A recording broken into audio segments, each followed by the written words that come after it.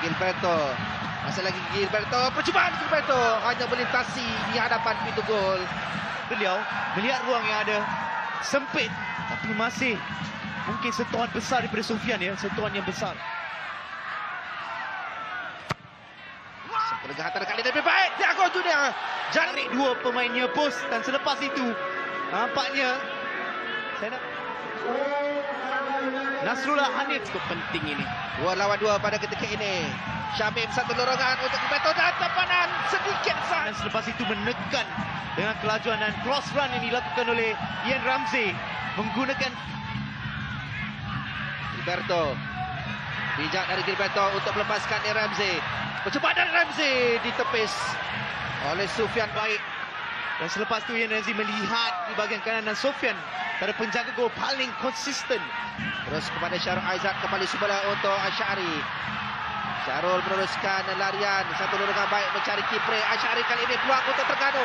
Patiban berada di sebelah sana. Patiban mencuba. Dan hanya melepas sisi sebelah kiri. Pernah saya melihat setakat ini di kempen Piala Malaysia bijak memulainya daripada arkiteknya Asyari Syamsuddin dengan Syarul Azad dan selepas Ramsey. Lambungan dari Ramsey mencari Tiago. Sarannya pun tepat tetapi tepat kepada Sufian. Jika beliau mendapat target sedikit, sudah tentu ini menjadi gol yang begitu penting untuk Felda. Tapi Ruang dibuka di sebelah kanan oleh Amirul Afiq. Bijak kepada Ame. Masih lagi Daniel Ame. Percubaan dari Ame meletakkan palang dan pintu gol yang terbuka disudahkan oleh Syamim. Untuk membuat percubaan on target nampaknya bijak. Beliau membuat satu tekanan Sofian terkena palang tetapi Syamim Yahya berada dalam posisi terbaik untuk memastikan beliau Bunga dari Litak. Zojik terlepas. Cantan Teribin. Debatan Deret agak kelak kabut. Kembali sebelah untuk Teribin ke tengah. Zojik dengan tandukan sedikit melewati palang gol. sedang membuat segala boleh dengan gerakan begitu baik. Adib menghantar bola Papos mencari kaki Litak dalam membuat sentuhan besar tapi nampaknya tepat kepada Farizal Harun. Hampir serupa di mana Tiago di separuh masa pertama tetapi tidak menolak Litak. Sekali lagi Litak mencuba. Dan jaringan. Pada ketika Farizal Harun menjangkakan bola itu keluar. Hanya memperhatikan sahaja. Gol dan sekali lagi mereka juga menjadikan gol sekali tetapi reaksi yang selalu dibolasi. Inilah reaksi Litak. Bijak ya. Faiz dapat untuk pemintas. Patiban berada di belakangnya. Adib. Lambungan dari Adib.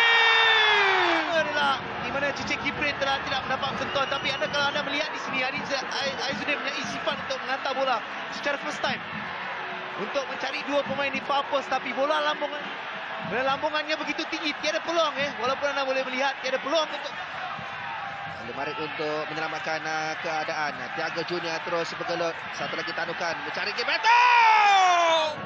menggunakan kelebihan fizikal beliau menghalang penglihatan Igor Zonzic dalam keadaan ini dan selepas itu melakukan ketenangan Kipre semula. Antara Kipre untuk Patiban. Peluang dan kali ini gol. juga terkejut seperti saya.